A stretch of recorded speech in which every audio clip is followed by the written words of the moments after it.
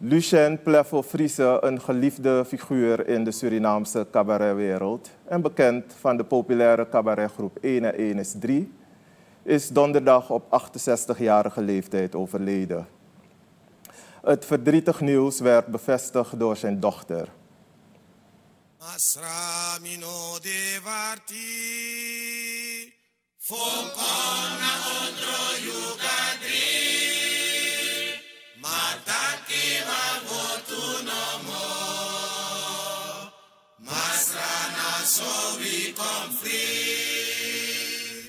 Friese die al geruime tijd kampte met gezondheidsproblemen was de afgelopen jaren vaak het onderwerp van geruchten en valse berichten van overleden.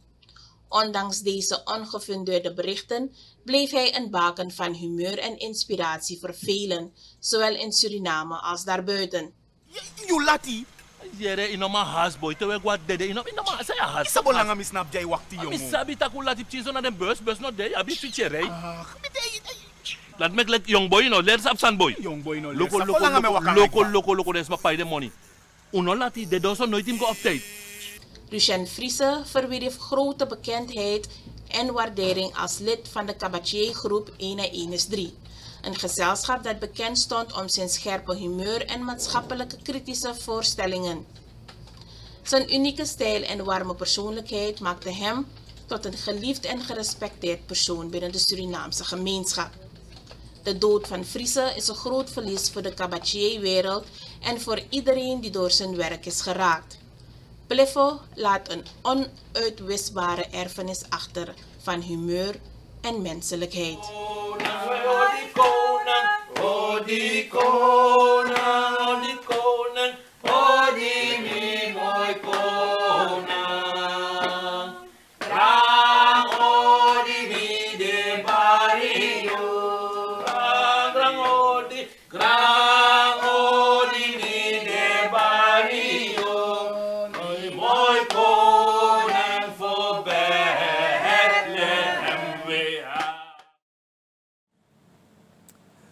De Surinaamse gemeenschap rouwt om het verlies van een van haar meest iconische figuren.